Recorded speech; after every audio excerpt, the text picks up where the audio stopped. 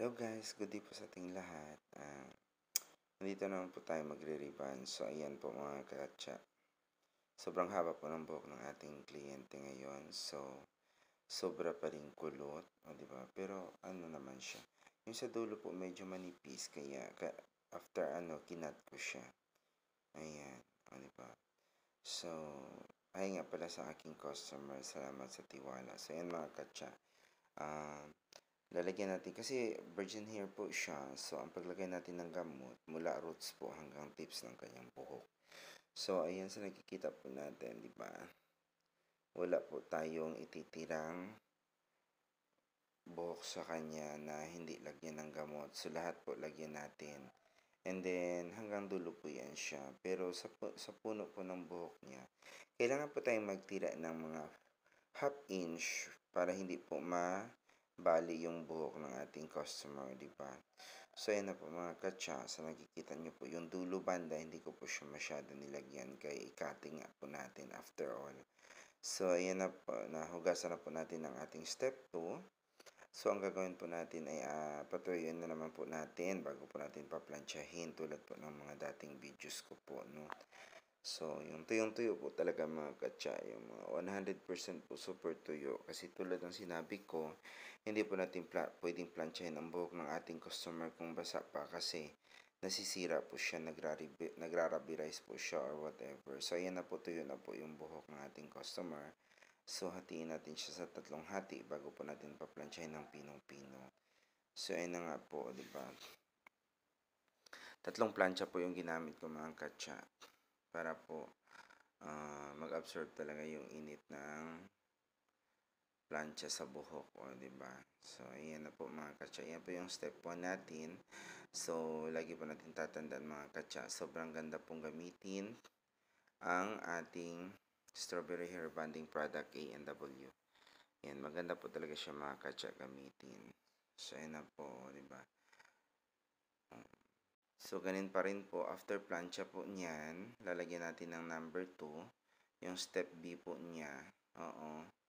And then, after 25 minutes, so hugasan natin. Then, ganun pa rin po. Paplansyahin pa rin po natin ng pinong-pino yung buhok ng ating customer sa step 2, mga katsa.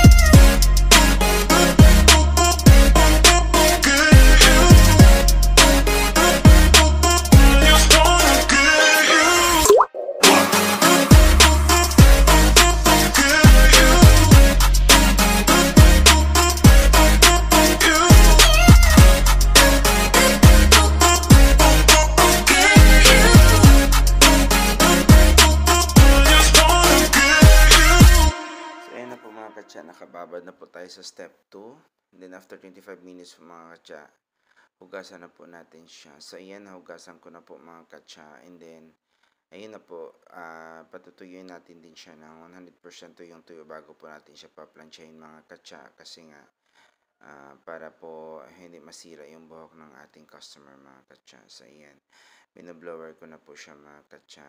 Ayan po. So ayan, ah, gusto ko ring ah, gusto ko palang mag-hi sa aking mga kaibigan diyan sa amin. Hello po sa inyo lahat. Sa mga lagi nagsubaybay po sa aking video, maraming salamat po. Thank you so much. Huwag po kayong magsawang panoorin palagi ang aking video.